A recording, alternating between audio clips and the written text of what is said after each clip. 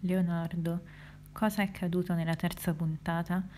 Leonardo si ritrova solo, infatti eh, Caterina non si trova più alla corte di Sforza, però l'uomo rimarrà sconvolto a causa della morte eh, della moglie di Sforza. La donna infatti muore di parto purtroppo però eh, continuerà eh, a lavorare per sforza e inizierà a dipingere l'ultima cena insieme ai suoi collaboratori.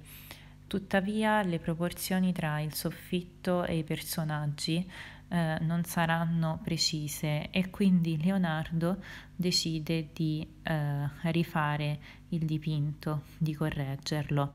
Il potere di sforza viene meno e a quel punto Leonardo decide di tornare a Firenze e lì rincontrerà Caterina.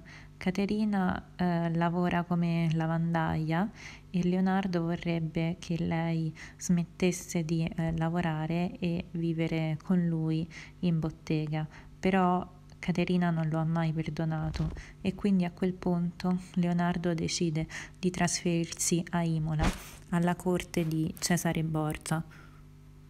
A Imola ha l'occasione di mettere a frutto le sue capacità di ingegnere, però si rende conto di quanto Borgia sia un sanguinario e vuole tornare a Firenze.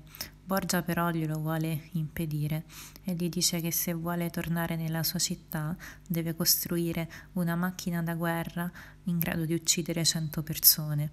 Scrive tutto questo a Caterina che nel frattempo lo ha perdonato.